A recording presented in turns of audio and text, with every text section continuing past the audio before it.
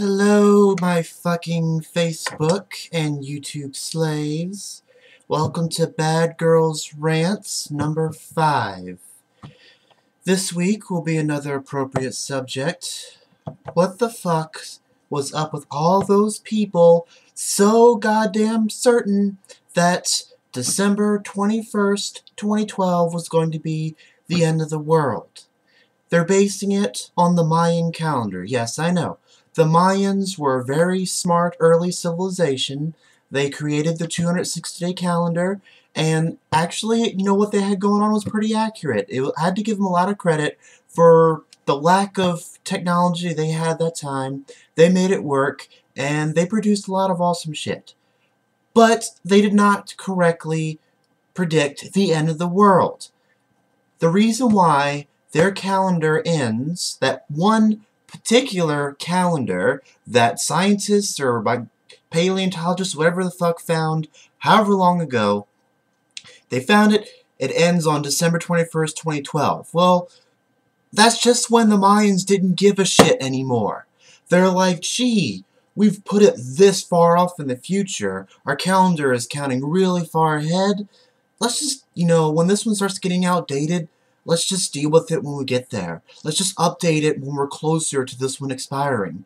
We're not going to, you know, at least in that time the Mayans thought, where nothing's going to happen to us for 4,000 years, so let's just leave it be. And you know what else?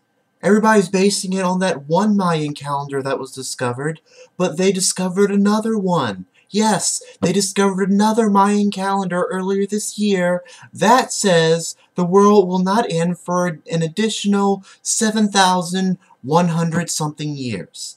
So everybody has to deal with living on this goddamn piece of shit planet with a bunch of fucking idiots all over the place, thinking the world was going to end today. We all got to live here a hell of a lot longer. It's going to make it a lot harder for all us people with half a brain inside of our skulls that has some goddamn fucking common sense. All you people that thought you were going to die today, know this and know this right now. If you are going to die, it'll be by my fucking hand.